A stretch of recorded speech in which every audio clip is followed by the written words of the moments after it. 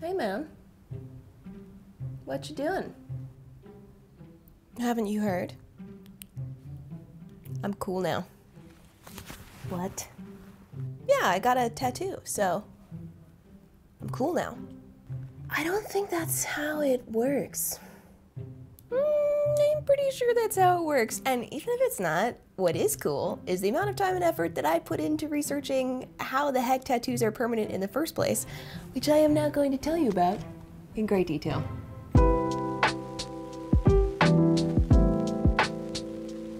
So, being a scientifically minded person, I was not going to go into this without a thorough amount of research, as per usual. And it turns out we didn't actually know that much about the nitty gritty details of how this works until 2018.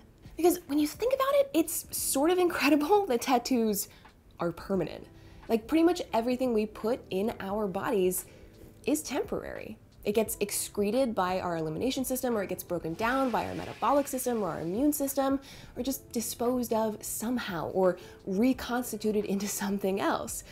There are very few examples of stuff that we add to our bodies that sticks around forever, and I think the most familiar and common of those examples are tattoos. Just a heads up, I will be including some footage in this video of me actually getting my tattoo. It includes close-ups of the tattoo needle and there are some small traces of blood, so if that freaks you out, never fear. I will be putting a counter on the screen every time before I'm about to um, have a clip play. So keep an eye on your screen and it'll be like an eight second countdown before that shows. So if you don't want to see it, you can look away and just listen. When I very first started thinking about getting a tattoo, all I knew was that a needle injects some ink into a layer of your skin. And that was it. Also, somewhere in the back of my head, I knew that our skin is like coming off all the time. Like, in fact, a majority of the dust around your house is your old dead skin that's been shed off of your body as fresh new skin cells are generated. Yeah.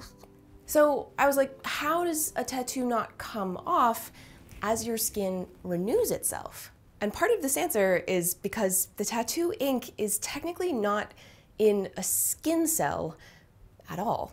And this is where we have to get into the layers of your skin. So you are shedding skin cells all the time, up to a million a day, but that's from the very top layer of your skin. It's called the epidermis. This has several layers of its own. It's kind of like a very complicated cake. And on top, we have squamous cells. These are flat cells that fit really closely together and form a protective layer that acts as a barrier. This is one of the ways that your skin protects you from stuff that shouldn't get into your body. These cells and your skin in general are part of your immune system. Squamous cells are part of lots of the different surfaces in and on your body, like they make up the lining of your capillaries and various body cavities and organs. And at the very bottom of the epidermis are your basal cells, which are actually a kind of stem cell. And this is where new skin cells are generated. So as the top layers of your epidermis die and fall off, those squamous cells, your basal cells are at the bottom generating a new layer of cells to move up and take their place. The basal cells are also where your melanocytes are. These are the cells that produce pigment and that give your skin its particular color. One of the coolest things about all of this is that there's actually still so much that science doesn't understand about this layer. Like exactly how basal cells produce slash become new cells is still kind of hazy. And understanding more about this could be really key to understanding more about the development of certain cancers and human cellular function in general, which is pretty cool. Now, all of that is happening just in the epidermis, the top 0.05 to 1.5 millimeters of your skin. The thickness of the epidermis depends on where in the body we're talking about, like the skin on the backs of your hands is much thinner than the skin on the soles of your feet, for example. And the next layer down, underneath the epidermis, is the dermis. This layer contains some blood vessels as well as sweat glands, hair follicles, immune cells, the tips of some nerves, and this is the layer the tattoo needle is injecting the ink into. So that's why your tattoo doesn't come off as those epidermis skin cells are being shed, because the ink is in the layer underneath. And it takes real skill for an artist to get the right depth of the needle as they tattoo you. Too shallow and your tattoo will fade much faster as your skin renews itself because it's in that epidermal layer. Too deep and you're likely to have a lot more inflammation. And the ink may bleed and leak outside of the intended design. This is something called tattoo blowout. Blowout can be caused by a lot of different things, but one reason is that the ink is injected too far down into that hypodermis, the layer that is mostly fat. So here the ink has nothing to hold on to or like no firm matrix of skin cells to keep it in place. So it just kind of splooges over time. Okay, so getting the ink into the correct layer of skin is part of the answer. But tattoo ink is a foreign substance. So how does your immune system not like freak out and try to get rid of it?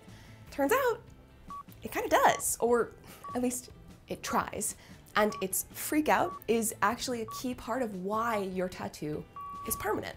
When you push a sharp object like a tattoo needle into the body, it is technically a physical trauma, albeit a very small one. And when this poking happens over and over as part of a tattoo, your body treats this area like a wound. And it sends immune cells to the area to start repairing your skin and protecting you from infection. That's one of the reasons that tattoos can get sort of like red and sore and swollen. That's your immune system trying to fix it.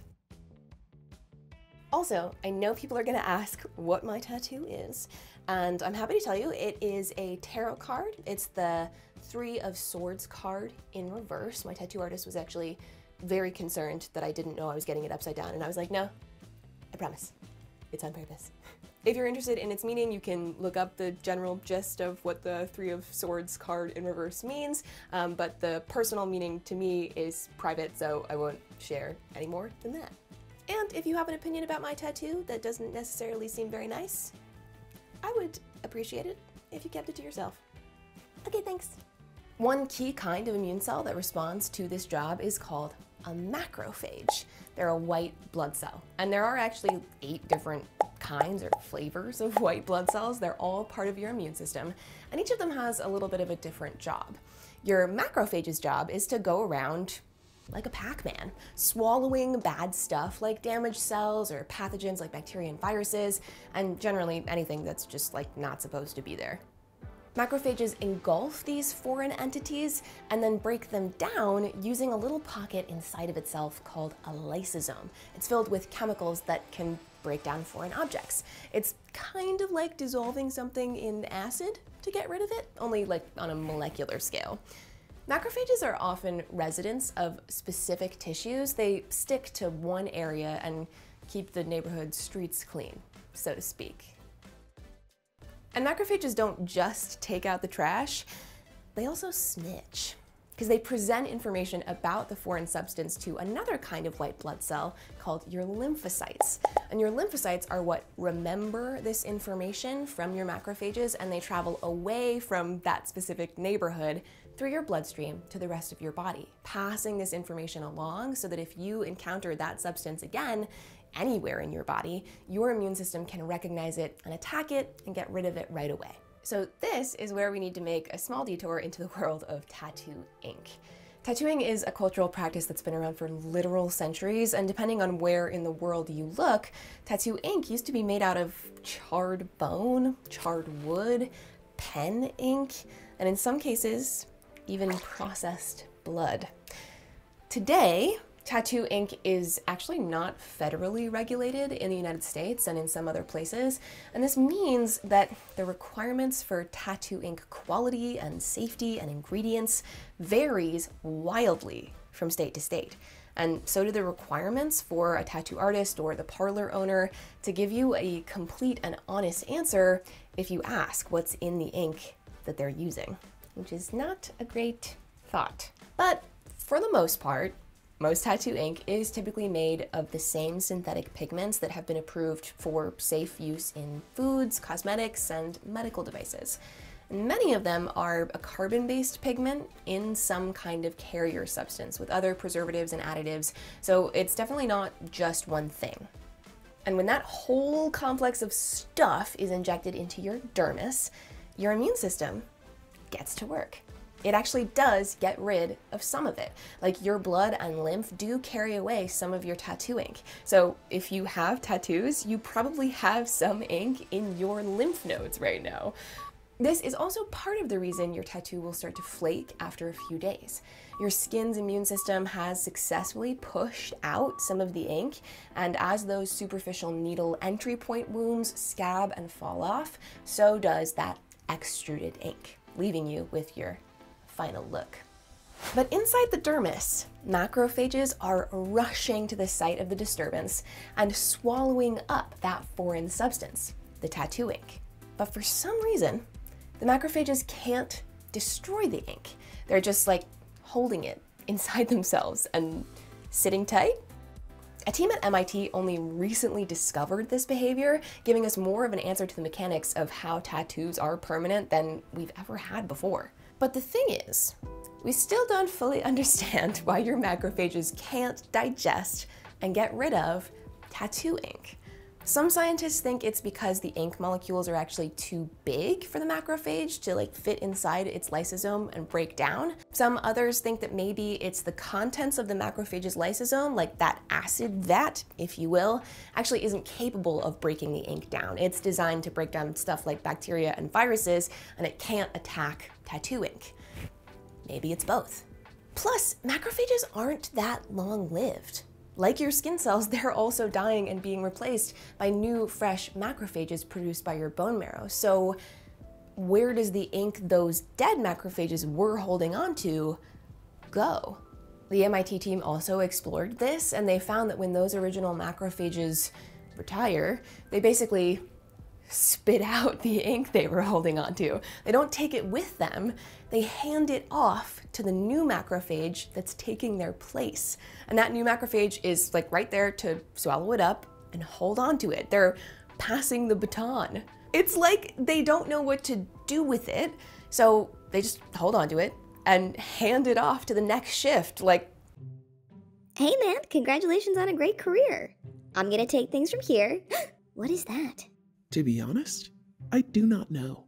I, okay. Well, what do I do with it? I told you, I don't know. I don't know. Just hold on to it forever. Okay, I'm leaving. Bye. what? And even though they can't destroy the ink, the macrophages holding on to this intruder are still telling the rest of your immune system about it. Like those lymphocytes are coming over, checking out the situation, and then traveling through the rest of your body, letting your immune system know how to be on the lookout for more tattoo ink. This means that the next time you get a tattoo, your immune system may be more effective at getting rid of more of the ink, meaning the more tattoos you get, the lighter they may end up being after they've healed. But this is only really if you get the exact same tattoo ink injected, and also the data on this is pretty light, so we're not really sure about that. An anthropologist has also published several studies in the last few years about any connection between tattoos and an individual's level of certain immune proteins. And you may have seen these headlines. The media went kind of like wild with it, coming up with all kinds of articles about how tattoos could fight the common cold by boosting your immune system.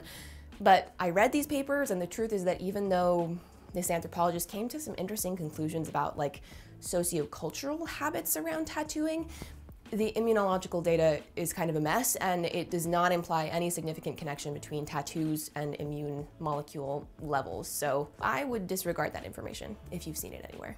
In fact, the only thing we really know for sure about tattoos and the immune system, besides what I've already talked about in this video, is that if you have any kind of immunological deficiency like an autoimmune disease or you're taking steroids, you probably shouldn't get a tattoo because it is a wound. And if infection is high risk for you, you definitely don't want to be purposefully opening the door for potential pathogens to just waltz in. And I hope more scientists look into this immune interaction with tattoo biochemistry area of science, because I think there's still some pretty cool stuff to find out.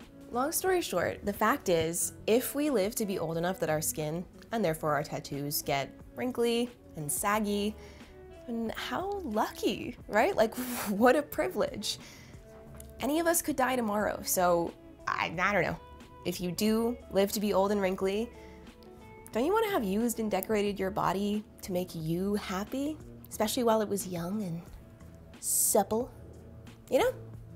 Do what makes you feel the most like you.